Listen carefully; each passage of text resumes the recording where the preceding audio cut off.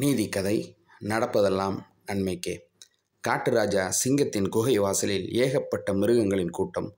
காட்டுராஜா வேட்டையாட சென்றபோது கால் விரல் அடிபட்டு விரல் துண்டாகிவிட்டதென்று அறிந்து துக்கம் விசாரிக்கத்தான் காட்டு பிரஜைகளான மிருகங்கள் கூடியிருந்தன.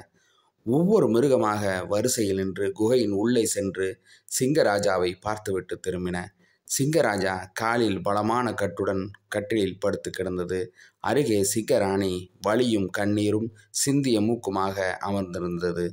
ஒவ்வொரு மிருகமாக வரிசையாக சென்று கொண்டிருந்த போது வரிசையின் இடையே புகுந்து வந்த குள்ள நரி சிங்கராஜாவின் அருகே சென்றதும் பெருமூச்சு விட்டபடி உம் நடப்பதெல்லாம் நன்மைக்கே என்றது சிங்கராஜாவுக்கு கடும் கோபம் வந்துவிட்டது. நமது காலில் உள்ள ஒரு விரலே போய்விட்டது. இந்த குள்ளநரி நடப்பதெல்லாம் நன்மைக்கே என்று கூறுகிறதே. பிடி அதை அடைத்து வை குகை சரியில் என கட்டளையிட்டது சிங்கராஜா. சிப்பாய் குரங்குகள் பாய்ந்து நரியை பிடித்து இழுத்து சென்றன. ஒவ்வொரு காரியமும் நமது நன்மைக்குத்தான் நடக்கிறது என்ற உண்மையைத்தானே சொன்னேன் என்று புலம்பியபடி சென்றது குள்ளநரி சிங்கராஜாவின் காலில் உள்ள புண் குணமாவதற்கு மூன்று மாத காலம் கடந்துவிட்டது. காலில் ஒரு விரல் இல்லாமையால் சிங்கராஜா கம்பீரமாக நடக்க இயலாமல் நொண்டி நொண்டி நடந்தது. இதனால் மிருகங்களெல்லாம் மறைமுகமாக நொண்டி ராஜா என அழைத்தன சிங்கத்தை. இப்படி சிங்கராஜாவை எல்லோரும் கேலி செய்வதை கேட்டு சிங்கராணிக்கு மிகுந்த வருத்தம்.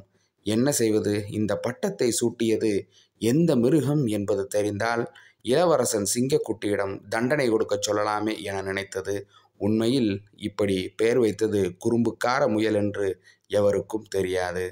சிறையில் அடைக்கப்பட்டிருந்த குள்ளநரிக்கு சைவ உணவே தினசரி ஒரு வேளை மட்டும் தரப்பட்டது. காட்டுக்கிழங்கையும் கனிகளையும் பார்த்தாலே குள்ளநரிக்கு குமட்டி கொண்டு வரும். என்ன செய்வது? வாயை வைத்துக்கொண்டு சும்மா இருக்காமல் வார்த்தையை கொட்டிவிட்டு வாழ்க்கையை கெடுத்து கொண்டோமே என ஏக பெருமூச்சு விட்டு கொண்டிருந்தது குள்ளநரி. வெகு நாட்களாகியும் குணமாகாமல் காலை நொண்டிக்கொண்டே ஒரு நாள் காட்டில் வெகு தூரம் வேட்டைக்கு வந்துவிட்ட சிங்கம் ஓரிடத்தில் திறந்து வைக்கப்பட்டிருந்த ஒரு கூண்டுக்குள் ஆட்டுக்குட்டி ஒன்று இருந்ததைக் கண்டது. ஆவலுடன் ஆட்டுக்குட்டியின் மீது பாய்ந்தது சிங்கம். கடித்து குதறி திடுறது.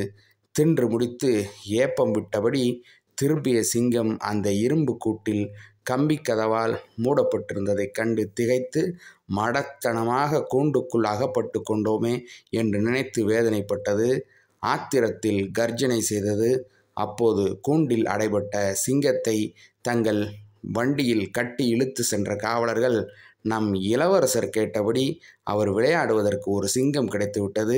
இதை பார்த்தால் மிகவும் மகிழ்ச்சி அடைவார் இளவரசரின் மகிழ்ச்சியைக் கண்டு மன்னர் நமக்கு பரிசுகள் கொடுப்பார் என்றெல்லாம் பேசிக்கொண்டே அரண்மனையை அடைந்தனர்.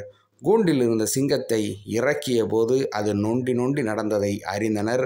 இதை கண்டு வருந்திய அவர்கள் இது ஊனமுற்ற சிங்கம். இதை நம் இளவரசர் விளையாடி பழக்கப்படுத்த முடியாது. எனவே காட்டில் இதை கொண்டு போய் விட்டு விடுவதே நல்லது என்று கூறியபடி சிங்கத்தை மீண்டும் காட்டுக்குள் கொண்டு வந்து சென்று விட்டு திரும்பினர். காவலர்கள் சிங்கத்திற்கு மகிழ்ச்சி பொங்கியது. நமது கால் விரல் இல்லாததால் நம்மை விட்டு விட்டார்கள். நடப்பதெல்லாம் நன்மைக்கே என்று அன்னைக்கு நரி சொன்னபோது ஆத்திரப்பட்டு அதை கூண்டில் அடைத்தோம். ஆனால் அது சொன்னது சரி என்று இப்போதுதான் உணர முடிகிறது என்றெல்லாம் நினைத்தபடி தனது குகைக்கு சென்றது சிங்கம்.